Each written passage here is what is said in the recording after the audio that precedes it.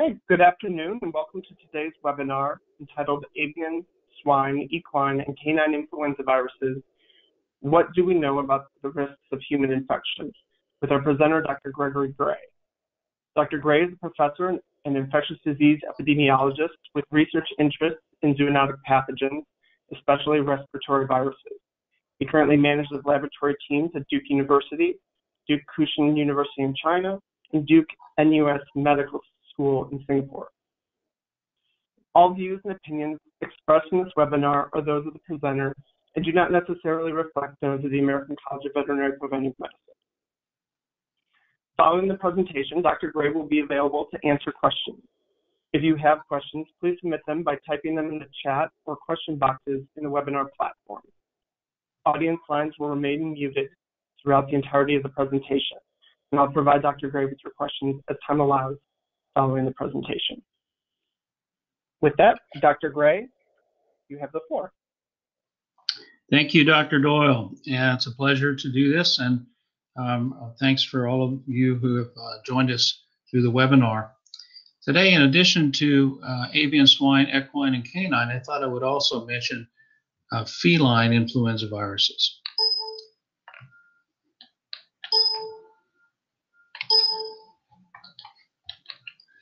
What we'll try to do today is give a quick overview of influenza viruses in general, and then chiefly focus on influenza A.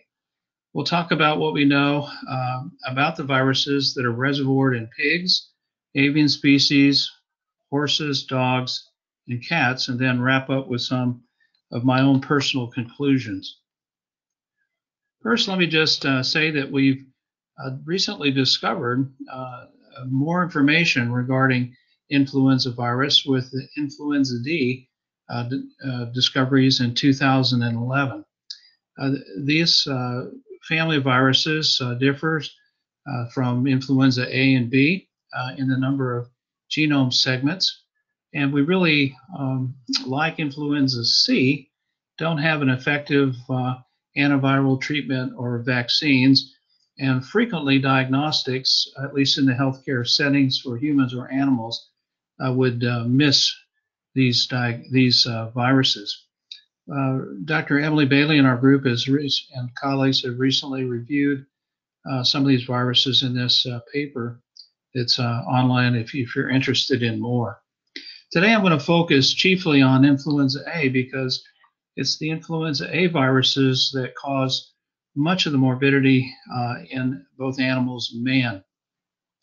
Currently, there are now uh, 18 recognized hemagglutinin uh, types of influenza A and 11 neuraminidase uh, types. These two glycoproteins are what our immune system sees most often. And the viruses are also uh, unique in that they have uh, segmented genome.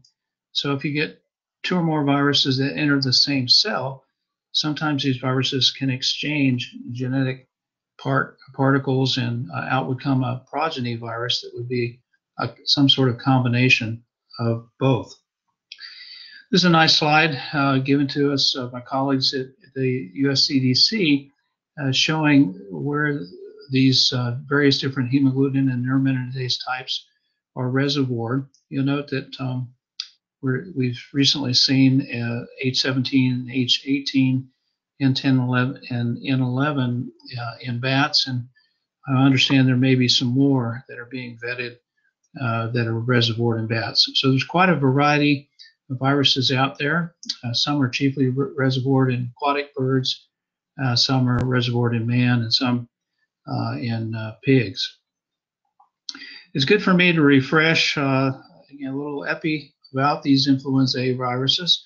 In humans, um, we know people can be infectious before they, they develop signs or symptoms, uh, and they can shed virus several days after they've uh, recovered uh, from infection. So that's why we have uh, in many healthcare facilities like here, ours here at Duke uh, requirements for receiving the seasonal influenza vaccine, such that we don't have uh, nosocomial transmission. Children in the immunocompromised can shed virus uh, for longer periods of time. And so, particularly, we need to be, we need to be concerned about uh, their uh, opportunities to spread the viruses. And viruses can be uh, found to live on non porous surfaces in some experimental studies up to seven days. Influenza A viruses in the environment have also been uh, found to have uh, a long uh, lifespan, if you will. Uh, here are a number of different references uh, showing that we can detect and, and culture out live viruses from water up to 100 days, manure up to 105 days. And so it's a real difficulty for our colleagues in, uh, for instance, uh, poultry um, veterinary medicine, when you have a contamination with an avian influenza virus, uh, to um, rid the uh, the barns uh, of those viruses. It's, it's, quite challenging. Again, in review, influenza A viruses uh, cause epidemics frequently in humans and animals. And when we see big changes in the chief uh, immunolog- the immune uh, glycoproteins, uh, then we can have uh, even larger um, outbreaks. And if it's a worldwide outbreak, of course, a pandemic, and that's frequently noted when we have an antigenic shift. But frequently we see antigenic drift or small changes through uh, recombination or mutations uh, very frequently, and we must keep close monitoring of those uh, viruses for these changes.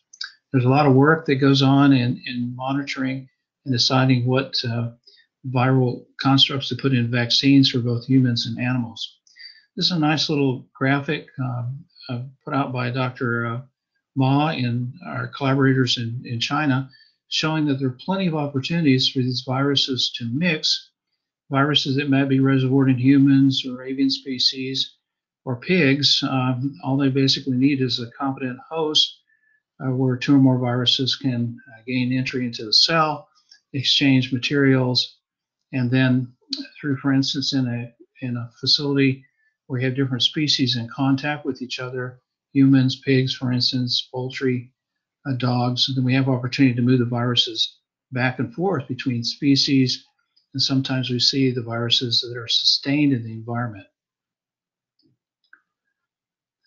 with all this uh, thought about the close um, exchange of viruses between uh, humans and animals, it's good for us to think about production of um, livestock.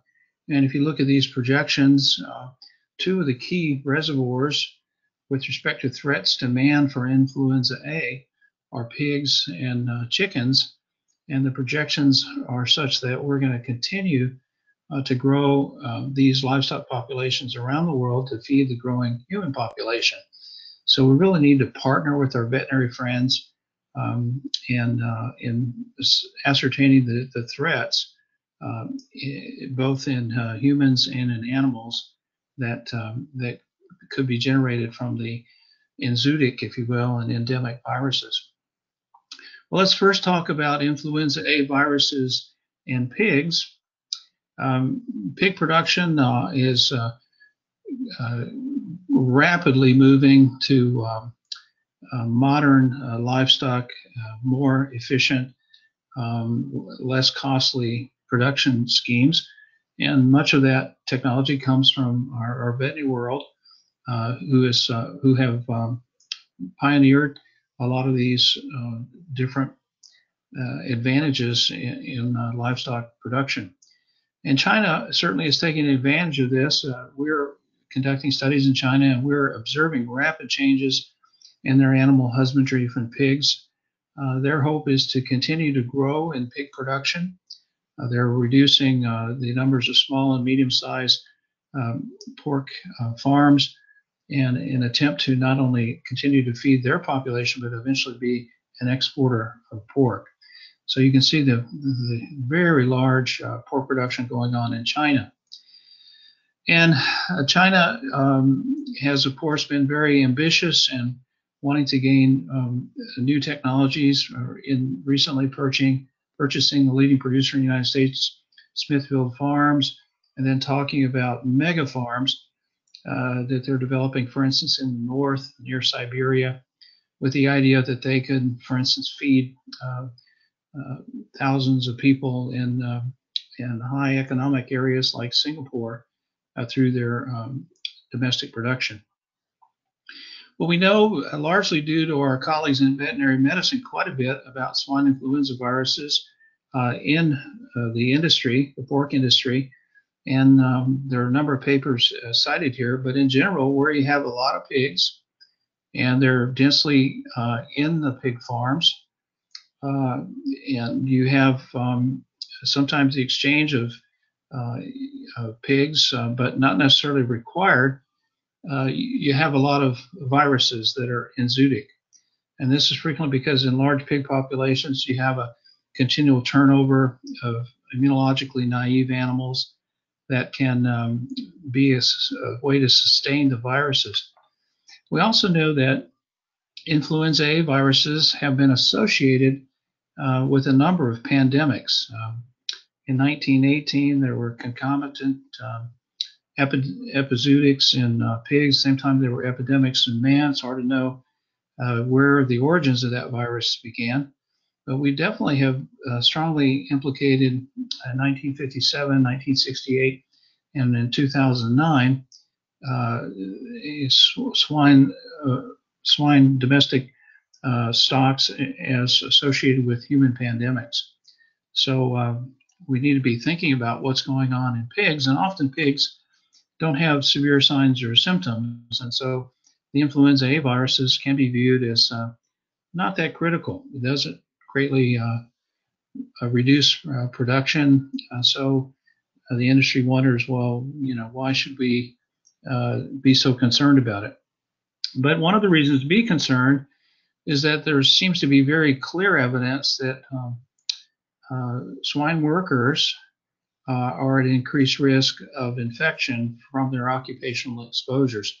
This is um, a paper we published some time ago uh, looking at uh, swine farms, uh, swine workers in the state of uh, Iowa.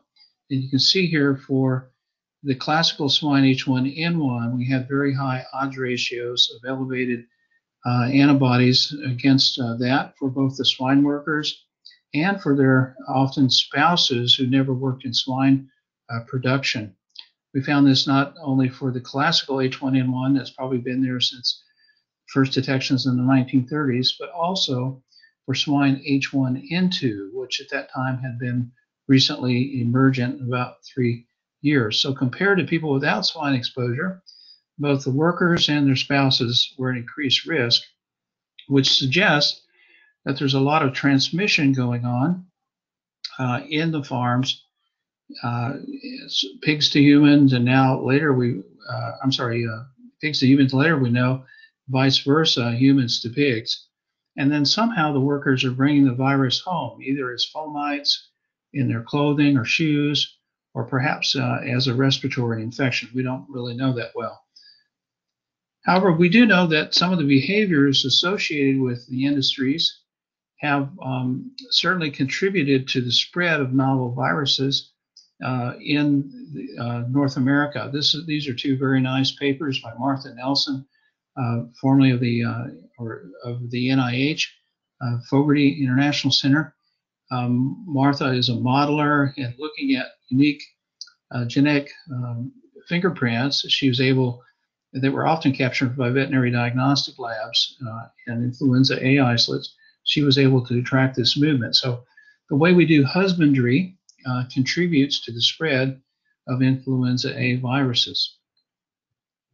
Well, we've been privileged to work closely with leading researchers in China, Dr. Wuchang Zhao at the Beijing Institute of Microbiology and Epidemiology. In an NIH R01 funded study, we're in our fifth year. This is a One Health study where we're looking at pig workers, 300, and then 100 non exposed uh, workers of roughly the same age. We're following them closely for influenza like illness, and we're uh, collecting sera from them uh, every year. We're also sampling um, uh, pigs, uh, some 50 pens uh, for every one of our six farms in two provinces in China through oral secretions, trying to get a handle on the types of viruses that are circulating in them. And finally, we're looking in the environment with 144 aerosol, fecal, environmental swabs, and water samples per month. There's a lot of work, and we couldn't do this without our partners in China, who were frankly doing a, a, a lot of the sampling. Uh, this is a partnership with a number of CDCs in China uh, in, in, these two provinces. I'll just summarize the work. It's rather complicated, uh, but we've seen tremendous evidence of, of uh, sharing of viruses uh, from uh, pigs to man and from man to pigs and to animals that are also quell and co-inhabitating, cohabitating in these farms. So it seems like the um, the hypotheses for these mixing uh, uh, swine influenza virus mixing in in uh, pig farms in China is is a very real thing. We observed uh, in our six farms uh, rather poor biosecurity uh, with ducks and geese being penned up in between pig barns with open windows. Um, uh, very little rodent control, very little fly control. And so very easy for uh, rodents and uh, insects to move pathogens around uh, between uh, the ducks and the chickens, sometimes free, free ranging in the pig facilities, uh, between the dogs that are standing guard. And, and that coupled with people that aren't frequently are not wearing personal protective gear is a real setup for a movement of viruses across uh, species. Well, it's not just uh, you know pig farms uh, that we think are contributing to the mixing of viruses. Uh, in our own country, uh, there have been multiple observations, particularly the CDC's, that um, sometimes this uh, this thing we do in the state and the county fairs, this rich tradition, um, has contributed to the movement of viruses between species. We were very fortunate to partner with our colleagues at the CDC and the University of Minnesota uh, some years ago in studying uh, uh, swine shows and uh, found uh, uh, the first year was frankly quite boring because in studying the pigs, we found very little activity influenza. But the second year, we found quite a few, five months um, after the pandemic H1N1 broke out, we found evidence that it had already moved to the pigs, and this was validated by multiple researchers in multiple countries. So that H1N1 2009 pandemic virus had a very low threshold for cross species infection.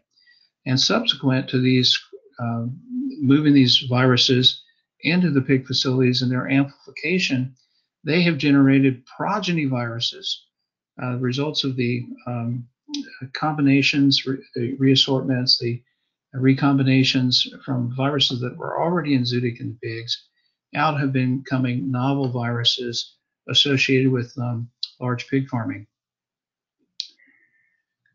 Uh, these kind of um, uh, observations uh, have continued. There's been some wonderful work at Ohio State by Andy Bowman, who has a large uh, surveillance network in the, uh, the state uh, in county fairs, and he's come up with some just amazing statistics that uh, you know uh, are hard to believe somewhat, in that uh, the entry of uh, healthy pigs that are screened by veterinarians, um, perhaps a pig or two carrying an influenza A virus, uh, at the beginning of a swine show. several days later, as many as 77% of the pigs are found to be infected or to be carrying influenza A. So tremendous opportunity for uh, amplification in the swine show. And then we have seen quite a few infections in humans. Sometimes they're only casually going into the uh, swine barn to look at the animals, uh, suspecting the aerosol and direct contact is transmitting the virus, the viruses to humans. Well, we've also observed this is a, a very nice paper by Amy Vincent the uh, uh, and, and colleagues uh, in various other institutions, showing over time that the various influenza A viruses that have um, entered into pigs. You'll see in this nice graphic, they documented human viruses moving into pigs and aquatic bird viruses moving into pigs. And so now, at the time of this paper, which was 2008 publication, uh, and these authors reported six different main types of viruses circulating in pigs. Well, now, since the pandemic viruses have become exotic in pigs, there are more uh, different uh, types of viruses circulating, some of which have um, viral components from those um, human pandemic uh, viruses. So, in this um, uh, subsequent report, they noted 10 different unique H1 and H3 subtypes circulating in U.S. Midwestern farms. But not to be outdone, in the UK, they even have more variants. In fact, in this paper published in 2015, they reported 23 unique genotypes circulating. This is by looking at the um, uh, individual gene segments and, and classifying them uh, based on their genetic sequence. So a lot of variants now uh, circulating with many of them H1N1 2009 pandemic virus uh, components.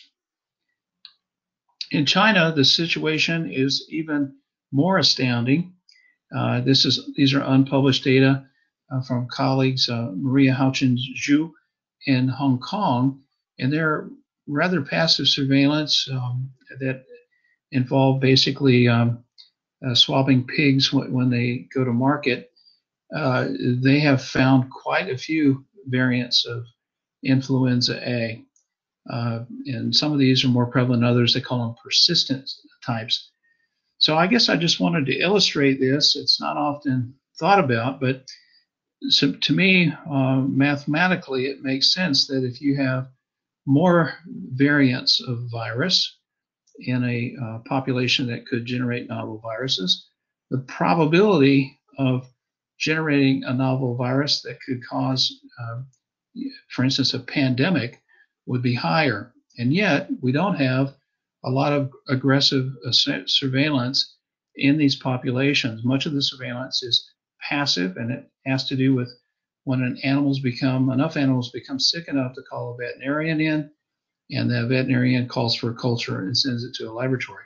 So, in contrast to poultry production, at least in the United States, where monitoring of avian or of influenza A is closely prescribed and required, we just don't have a good handle on what's going on, I would argue, in the swine populations. I know there's there's some cooperation with the U.S. CDC, um, but it, it's it's not the magnitude I think that would give us a really good handle and early warning of a virus that perhaps uh, would infect pigs and and not um, cause serious illness, uh, but yet be th- a threat to man. So I've we've argued in various different uh, editorials that you know despite our knowledge of how rapidly the pandemic virus spread and was perhaps amplified in swine populations, we still don't have a, a good clear view of the ecology of uh, influenza A viruses uh, in pigs. And it's rather tragic that we, to get the um, the attention of this, you know, humans have to suffer. We have to see a significant number of humans before we go in and, and uh, do an evaluation of what might be causing an illness in that human outbreak uh, that might might be uh, deriving its origin or might have origins in pigs.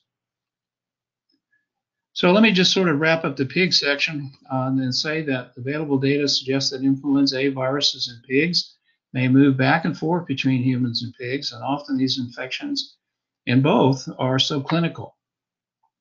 Modern influenza A strains, which are reservoir in pigs, occasionally cause outbreaks and severe disease in humans. Uh, but uh, you know, in general, uh, we don't we just don't have uh, the severity of illness as we'll see with some of the other strains reservoir in other animals. Historically, influenza A viruses circulating in pigs have been associated with four recent pandemics and have great potential to play a role in generating future uh, pandemic strains. Let's chat a bit about influenza A viruses. Um, we know, I think, uh, quite a bit about these. They, we, we know, for instance, that uh, quite a few H7, uh, H5 uh, strains have caused severe disease in humans. Uh, however, some of these can be very, very mild. we know that the risk to, um, you, to humans, and at least as a, determined by experts in public health, is thought to be relatively low. But once a person is infected, uh, often those people have uh, severe disease. And then, of course, China is one of the few countries uh, that is considered epi- epidemic or epizootic uh, for some of the most disconcerting strains, the highest priority strains for colleagues at CDC, H7N9 and H5N1. Uh, and most recently, China has uh, instigated compulsory vaccinations against those strains in a bivalent vaccine. So we'll talk a bit about that. I would just say that in my gestalt on this, through ours and other epidemiologic, uh, serologic studies, is that these infections occur in man, uh, and particularly those that are uh, exposed to ill ill birds or dead birds, uh, but they're generally pretty rare, um, and often they're they're subclinical. Uh, this is based on you know epidemiological odds ratio studies of uh, serology, um, and we can identify risk factors for this. In fact, there's been quite a few papers along the line. This is our paper, but many different papers. Our colleagues in um, the Netherlands have uh, developed this very outstanding report of uh, the various different uh, epidemiological studies of animal uh, influenza A viruses. I'll, I'll, call your attention to it. And I know it's going to be really small on this screen, um, but just to show you the number of studies and how they rank them, I'm illustrating this one graphic. Um, papers that they thought were really well done uh, generally have come later as we've developed better techniques and become more uh, clever with respect to ascertaining um, serologic evidence of infection. But you can see that there are quite a few studies there um, for various different uh, swine and avian types. And just to sort of pull their, their summary statement out and point to it, I think it's worth sort of reviewing some of their text. They say that swine to human transmission is prevalent, but national swine surveillance uh, is is pretty darn weak, uh, and uh, we need to do better. They also talk about the surveillance uh, is pretty good for H5 and H7 among uh, birds, uh, but you know again that is is uh, suboptimal because we need surveillance for other uh, hemagglutinin types as well. This is a nice paper uh, by our colleague in in Beijing, Meijun Ma, who followed a cohort of some of the most intensely exposed workers in China uh, who were exposed uh, to recent generations of H7N9, H9N2, and H5N1 strains. And I think it's remarkable for the relative low sero um, conversions that they detected in these workers. So, despite very intense exposures, uh, they're really seeing, you know, an incidence of seroconversion 1.27 per thousand persons per year uh, for H7 and 9, 8.2 people for H9 and 2, H5 and 1. So, in contrast to the pig workers, where we see much higher evidence of infection by odds ratios and seroconversions uh, based on uh, one-time serology and paired serology, uh, the the poultry workers just aren't having the same uh, tremendous risk. And yet we know from various different epidemiological studies, these um, uh, markets that Dr. Moss studied are really a hotspot for human, uh, animal to human transmission, particularly when there's a lot of different animals, are different species of animals in there, and uh, the sanitation is poor, and perhaps the animals are kept a long time. So it's a quite an interesting phenomenon in China and other developing countries, these live animal markets.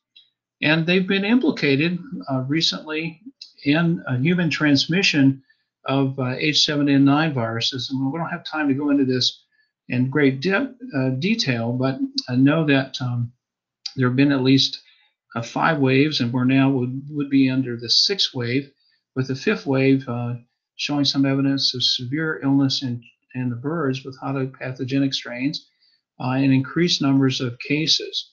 But in uh, mid 2017, uh, China introduced uh, vaccines, and they also uh, closed a lot of these markets in the big cities. Um, and, and, that seems to have had a tremendous uh, impact in reducing the risk to man and reducing the prevalence of H7N9 and we think H5 uh, in the birds. And I'll just leave you with this paper and this sort of summary at the top here of 92% uh, reduction uh, in, in, human cases, 98 uh, human H5 and, and 98 reduction in H7 uh, cases. So pretty interesting. The vaccines uh, seem to be working at least for now in China. So let me sort of wrap up what we could you can spend weeks on. Occasionally, the avian influenza viruses uh, infect humans, but human influenza viruses are not known to go back into the avian species. This is in contrast that human viruses easily go back into pigs and, and into dogs. When uh, human avian influenza virus infections are detected, often they reflect severe disease. So the case fatality is much higher for these, yet they're more infrequent.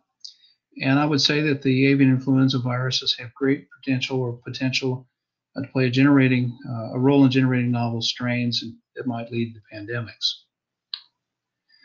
Let's shift to equine influenza. Uh, this is the second most important respiratory tract disease in horses. We know that uh, before vaccines, epizootics were quite uh, common. Uh, the mortality could be high, as much as 20% in horses. And in the last 20 or 30 years, we've had just chiefly one type, H3N8 strains. But the epizootics in animals and countries that have a lot of horses that are close together has been pretty uh, amazing. Uh, you can see in these figures the horse deaths, uh, 225,000 in 1980s um, in Mongolia, uh, had a big impact on their equine industries. And the impact was not just, um, you know, for, for labor or for meat. Uh, this is a very large uh, epizootic that occurred in Australia in 2007 that had a tremendous economic impact because it was associated uh, with horse racing.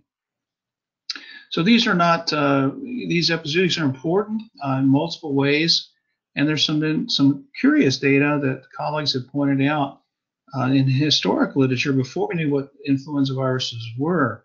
Some observations that influenza, a respiratory illness that people recognized at the time, uh, was severe in men and horses in the 1600s, 1700s.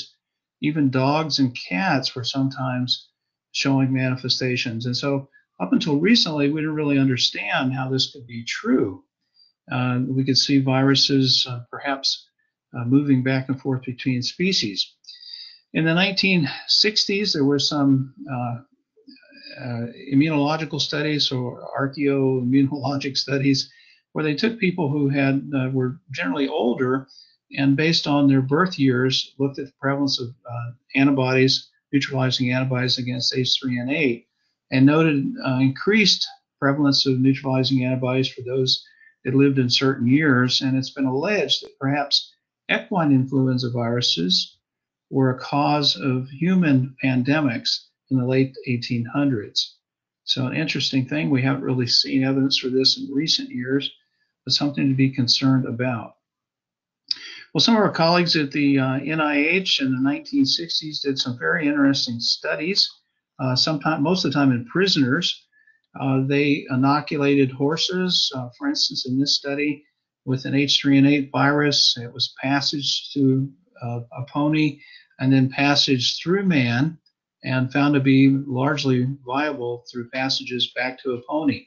In a similar fashion, passage to um, through ponies uh, to man over on the right.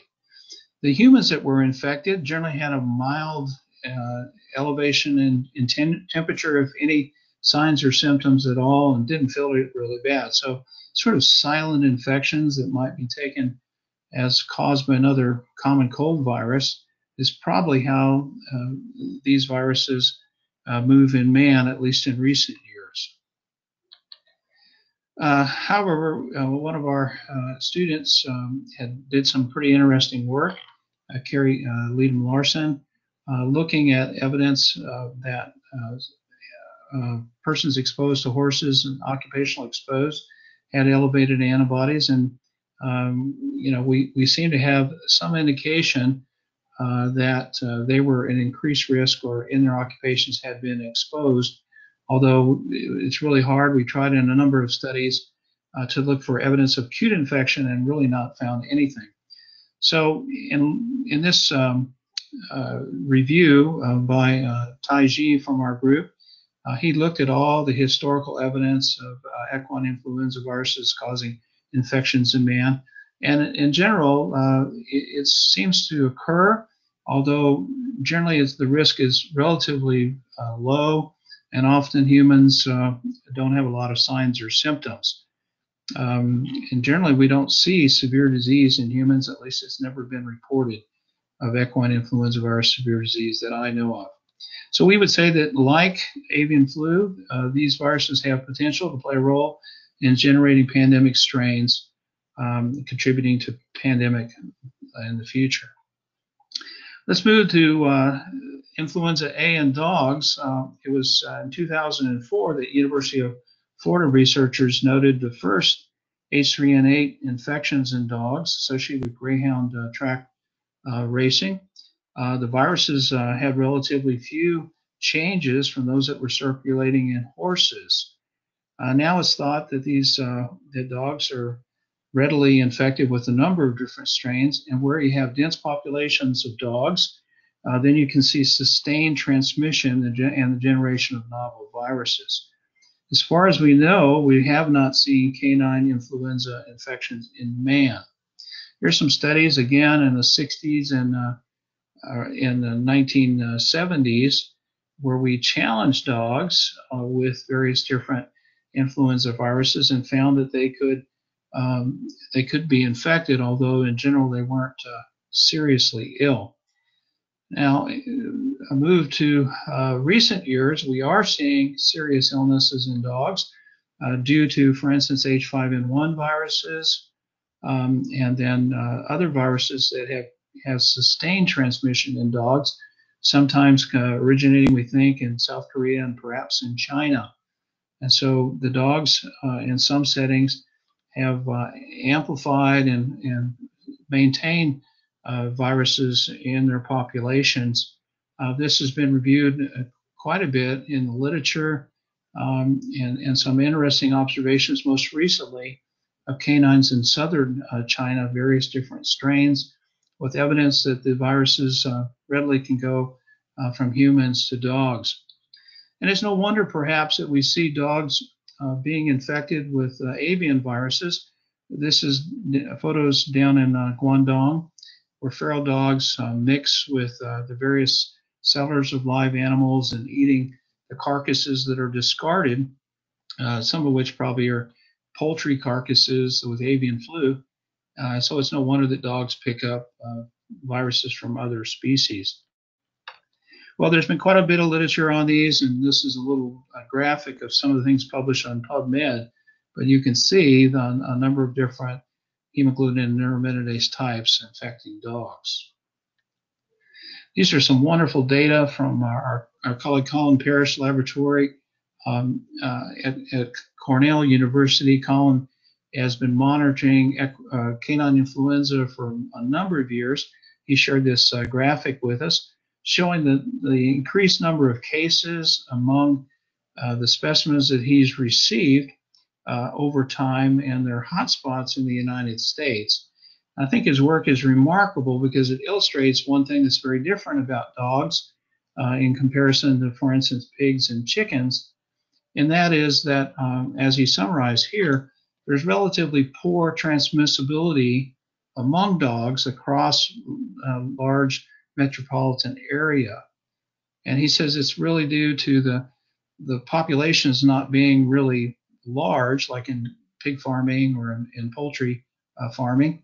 And so there's a sort of a low level of activity going along, and then it, the virus will hit a, a larger population of dogs in a shelter, for instance, and they'll see a spike. But it's very different than the risk that we see. For instance, when you have a large facility of pigs or chickens, and the virus can go in there and be amplified many times. So uh, Whitney uh, Kruger uh, did this uh, very nice study for her PhD um, at the uh, in our program at the University of Florida. She basically studied dog workers and controlled and involved serological assessments for a number of pathogens and included canine influenza. And again, using multiple tests, uh, found evidence that was sort of borderline here with the neutralization uh, test that persons exposed to dogs um, might be at increased risk of uh, being infected and having silent infections. Well, we had to conclude that this was a negative study because the, the odds ratio um, did not uh, uh, exclude one, but nonetheless, um, one wonders if these infections are uh, crossing over to man, perhaps a bigger study in the future with a greater variety of viruses might be more telling. But for now, we have to say there's no evidence that canine influenza virus is infecting humans. So we sort of summarize it uh, right here that um, uh, you, you, know the dogs can receive infections from a number of different uh, influenza A viruses, but we just don't, and we think they may play a role, but the risk to man seems uh, quite small. Well, cats too have been infected with influenza viruses. Uh, this was not recognized perhaps uh, 20 years ago, uh, but uh, now we've seen um, uh, canine influenza viruses jump to cats. We've seen um, we, we've we've seen um, avian influenza viruses jump to cats. Uh, we're seeing uh, quite a few instances of this. It's not frequently sustained, it's sort of sporadic as well as that for uh, canine influenza. Um, but there are quite a few reports out there showing uh, that feline species are being infected. So again, uh, we think that there is some potential here that they could generate some component of pandemic strains but not thought to be, you know, a big factor. Well, that brings me to sort of my uh, overall view of uh, various different uh, influenza A viruses that are uh, reservoired in, in domestic animals. I think there's a tremendous barrier between the viruses that circulate in dogs and cats, the barrier of the viruses going to humans. Uh, we just don't have uh, evidence for those viruses coming, uh, moving over to infect humans. Uh, so there's a perhaps a lower barrier uh, for the viruses that circulate in um, equines, um, but again, that seems to be a pretty good barrier with not a lot of at least overt disease. Poultry influenza viruses again don't affect uh, infect man as readily perhaps as uh, one, might be concerned about for other influenza viruses, but when they do, the people are due, they are detected, people often have severe disease. But where I think the, the action is, uh, where we see much more cross species infections, is uh, among pigs. And it's uh, rather tragic that we don't have better cooperation, uh, uh, collaboration um, between the veterinary and, and human and animal industries and looking for novel viruses in pigs. It's rather sporadic. And yet we know that um, viruses associated with pigs have been implicated in four different pandemics. And finally, um, uh, you know, we we, um, we we know that there are unique uh, viral strains out there, many of them, in contrast to the relatively few strains that circulate in horses or, or um, uh, dogs. There are plenty of viruses in the pigs that could uh, generate a novel virus when, when the right situation is uh, present. Well, let me just jump in and wrap up with tell you that uh, in addition to influenza A, uh, I mentioned influenza B, influenza C, and influenza D also have, uh, there's evidence of animal infection, non-human animal infections. And it's again illustrated in this review article I talked about from uh, Dr. Bailey. I think it's appropriate to point out that both humans and pigs seem to be susceptible to at least some strains in all four of these influenza groups. And so, uh, you know, it really is important, I think, that we work um, with the pig industries, uh, with our veterinarians in the swine industry, to keep a handle on what's uh, what's circulating in pigs, and we work together in a One Health way uh, to try to improve our knowledge. I think it's important to point out that we're seeing some interesting increased occupational risk, at least in the one small study that we did. 88% prevalence and uh, cattle with influenza D and neutralizing antibodies in a high proportion of cattle workers. In contrast, relatively low seroprevalence of neutralizing antibodies in humans not exposed to cattle. And then others have found very high prevalence in pigs. So we're still learning quite a bit about that. This is a nice uh, review article by Su Xue in China, uh, trying to sketch out what we think we know about influenza D viruses between um, hosts. Well, let me just wrap up here and uh, say that, well, what do we know in general? What can we do about these things? Um, I think we've we've learned quite a bit about uh, influenza virus threats to man. There's much more to learn. But one of the things that we, we could do that uh, would help both uh, the animal production industries and man was uh, make biosecurity training uh, compulsory and widely available for those in the industry, especially people that are in animal production and um, abattoir workers worldwide. Uh, and while we do this biosecurity, I think pretty darn well here in the United States and perhaps in the EU, I've seen some really poor bed, uh, really poor biosecurity in the developing world. Um, and so, what we can do to help them along, I think, would be uh, very strategic. We need to try to promote modern meat processing techniques, those things that we've learned, uh, in, for instance, in, in, our land grant universities for many years. We need to transport that knowledge as best we can into the developing world, help them supplant, if you would, uh, live animal markets and market butchering, which can be a, a real threat for uh, humans to be infected with influenza A viruses. We need to broker one health oriented novel virus surveillance with large swine and poultry farms and at large, large animal distribution centers. And we got to do this in a way that does not threaten the industry. And uh, that's challenging. Uh, we need to find ways to do this better, to partner in a way that's mutually beneficial. And finally, I think there's some pretty exciting things we could do with respect to technology. We need we need simple, robust virus sampling detection and characterization tools, perhaps uh, at the farm. Now, we've had some pretty exciting things going on. We learned from uh, our partners in engineering, for instance, with uh, aerosol sampling and novel virus. I thought I'd, uh, aerosol sampling and novel virus diagnostics. Let me share a little bit of that with you. We've worked closely with NIOSH in adapting uh, some of their samplers in various different environments and learned quite a bit about uh, virus, at least RNA and sometimes live virus, circulating in the air. And so we can benefit from our partners in environmental sciences, and, more work has actually been done. Um, partners in Minnesota, for instance, uh, in uh, the agricultural industries.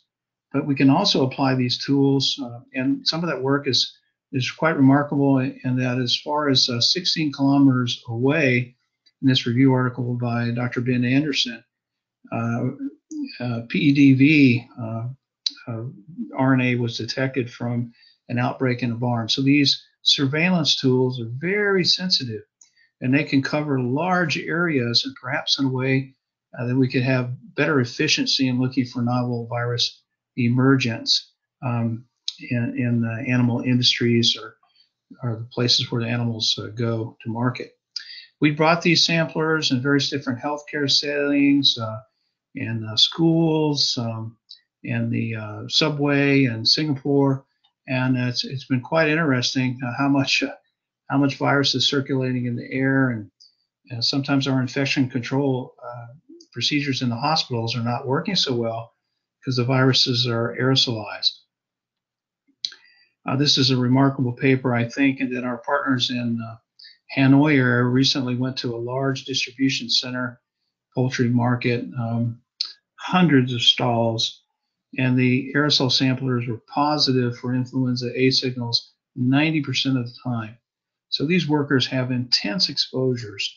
Um, you can see why, and their immune system is quite uh, probably tolerant from the from the daily uh, inoculations with uh, antigen. But at any rate, uh, th- this could be useful if you're looking for a new virus in a, in a large animal population like uh, these tens of thousands of birds.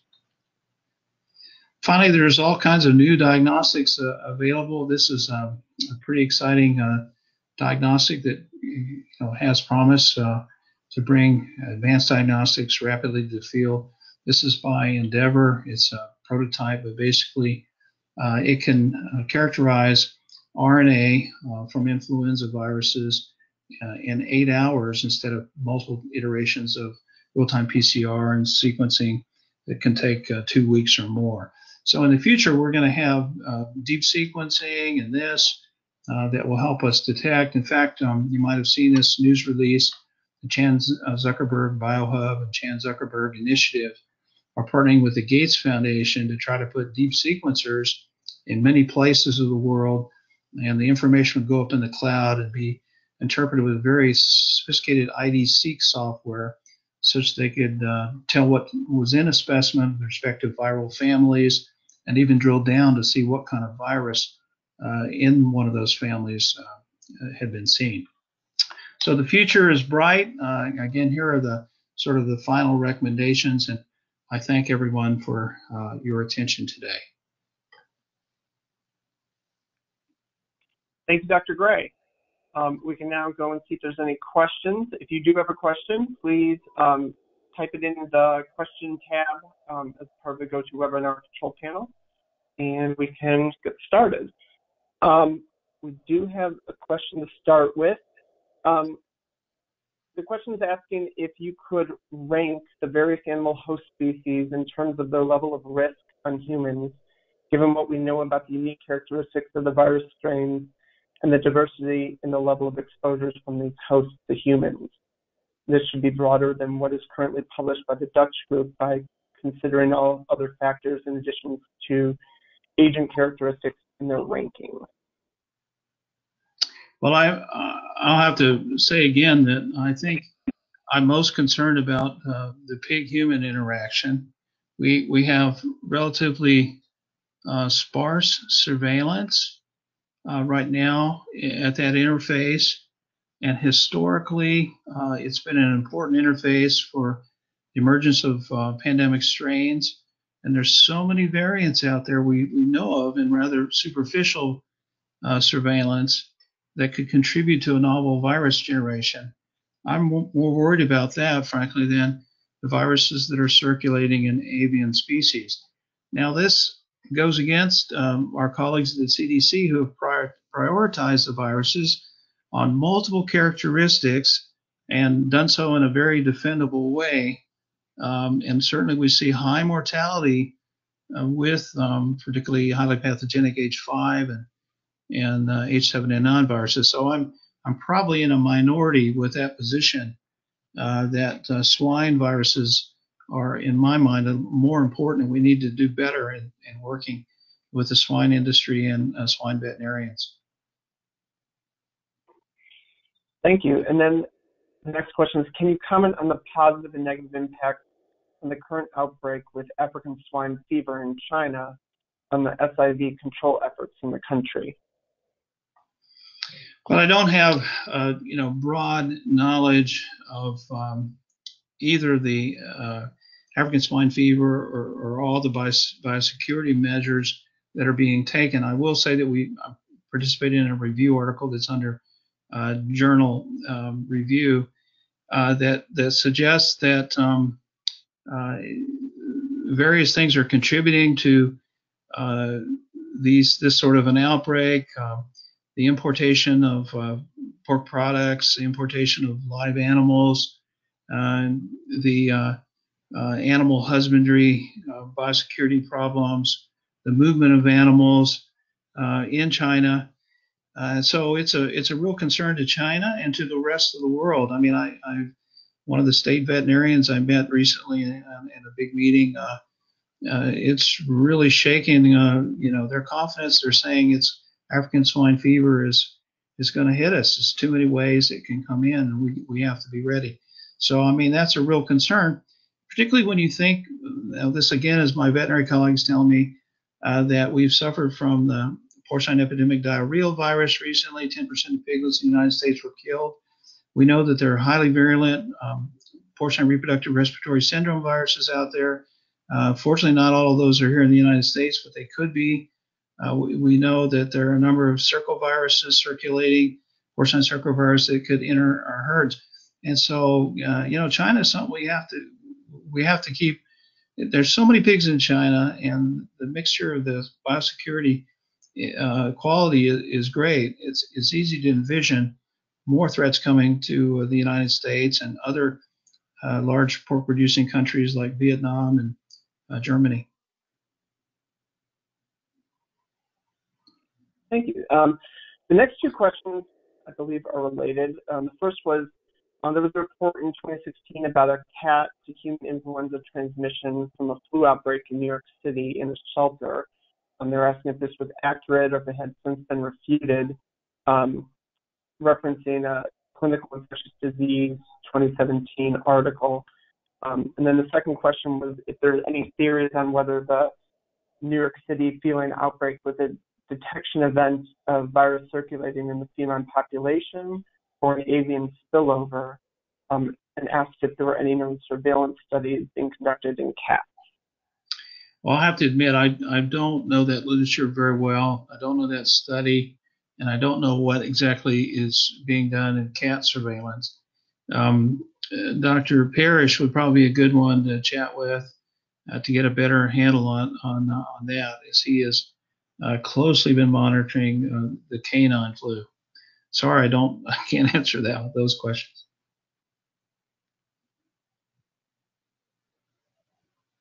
Okay.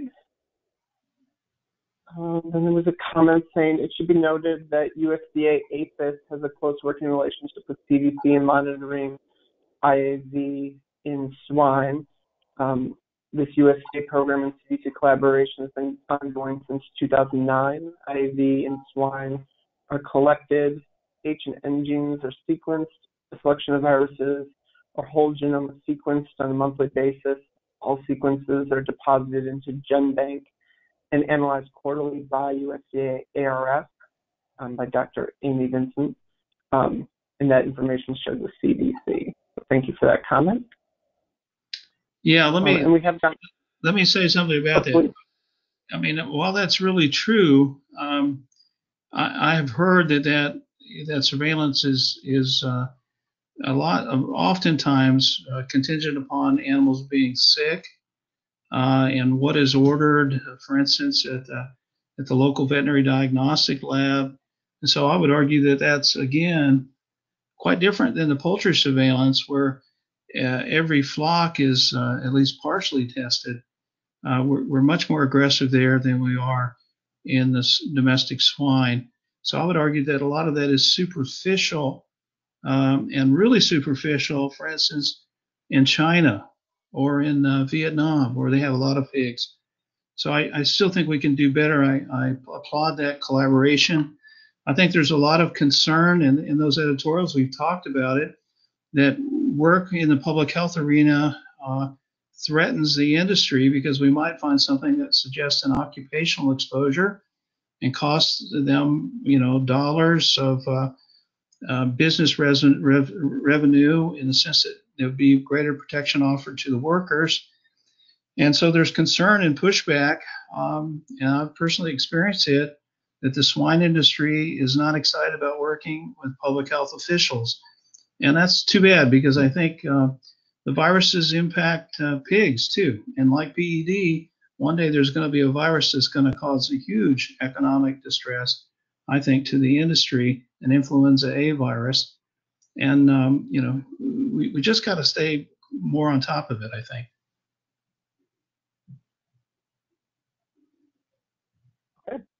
Thank you, Dr. Gray. Um, we don't have any additional questions um, in the queue.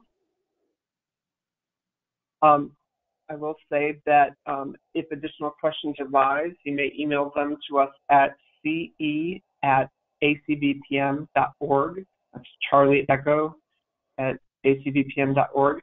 And we'll work to, with Dr. Gray to provide you with um, answers if, if something comes up after the fact. Um, Dr. Gray, is there anything you would like to say in conclusion? I, I guess I'd just like to thank uh, our veterinarians in preventive medicine uh, for doing all that you do to uh, protect uh, our animals, our our food supply, our economies. I know it's not it's not easy. Um, you know, in talking to a number of you, uh, there there are great restrictions in your resources, uh, but boy, I sure appreciate what you do. Um, you know, and, and also what is done um, by FSIS in, in, in food production. Uh, and often I think people don't really um, honor honor you for that um, for those services. Thank you so much. Well, thank you again to Dr. Gray. Um, thank you everyone for joining us. A recording of this presentation will be uploaded to the American College of Preventive Med Veterinary Medicine YouTube page for future viewing um, in the near future.